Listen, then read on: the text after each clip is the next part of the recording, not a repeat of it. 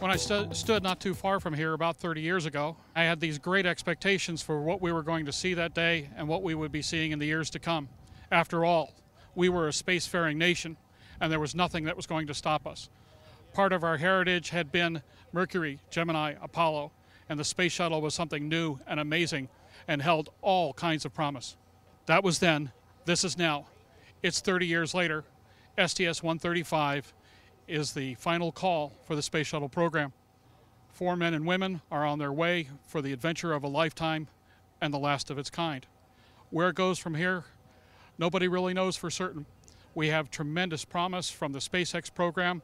Soyuz will be supplying ISS for the foreseeable future at upwards of $60 million per seat. And more important than anything else, we are for the first time in the history of the space program without a manned launch capability after 135 leaves the pad. It will also be the first time that we're going to lose the brain trust. Thousands of people will be laid off in the next couple of weeks. They will not be replaced. These are the folks with the innate knowledge of decades of innovation, of stick to itiveness, and of making things work even when everybody else said, nah, not a chance. So we wish Atlantis a fond farewell. We have great hopes for the future, even though at this point it looks a little dark.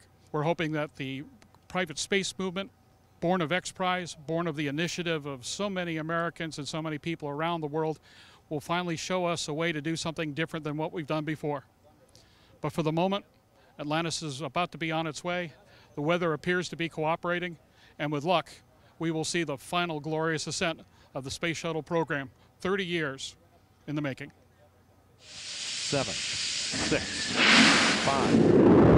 All three engines up and burning. Two, one, zero, and liftoff. The final liftoff of Atlantis on the shoulders of the space shuttle. America will continue the dream.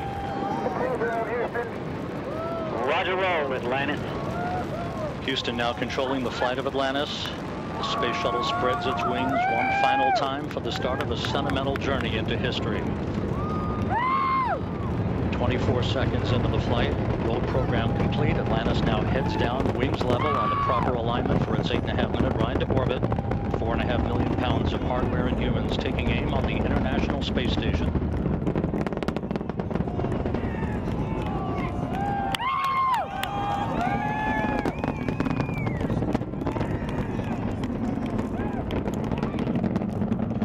Seconds into the flight, the three liquid fuel main engines throttling back to 72% of rated performance in the bucket, reducing stress on the shuttle as it goes transonic for the final time.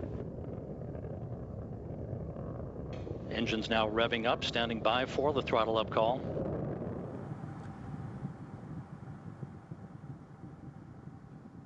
Booster officer confirms staging a good solid rocket booster separation. Guidance now converging. The main engine steering the shuttle on a pinpoint path to its preliminary orbit. Two minutes, 20 seconds into the flight. Atlantis already traveling 3,200 miles an hour, 35 miles in altitude, 50 miles downrange. Booster officer confirms main engine cutoff. For the last time, the space shuttle's main engines have fallen silent as the shuttle slips into the final chapter of a storied 30-year adventure.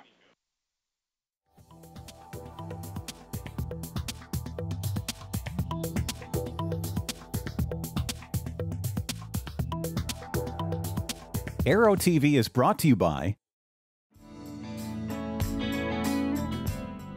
If you own a Cirrus today or if you are considering the purchase of a new or used aircraft, consider this.